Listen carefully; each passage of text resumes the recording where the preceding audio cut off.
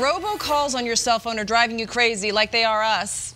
We have a new way to give robocallers a taste of their own medicine. Denver 7 investigative reporter Jace Larson shows us an app for your phone that fights back. Paul Applegate hates having his TV shows interrupted by telemarketers.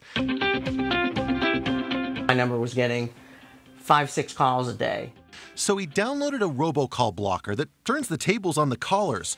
RoboKiller doesn't hang up, it plays games with the callers. It has what's called answer bots, and they fool the spam bots into thinking that you're an actual human, and then they give up calling you. Paul's phone has two dozen responses designed to fool automated calling systems. One of my favorites is someone who's speaking in a Russian accent, and he pretends that he doesn't speak English very well. Yes.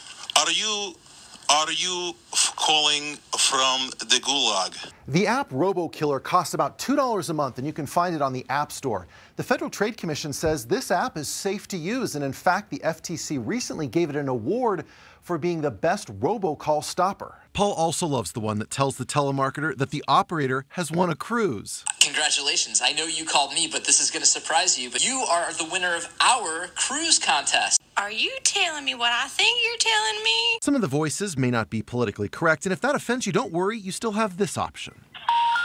We're sorry. You have reached a number that has been disconnected or is no longer in service.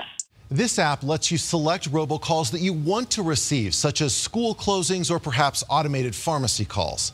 Jace Larson, Denver 7.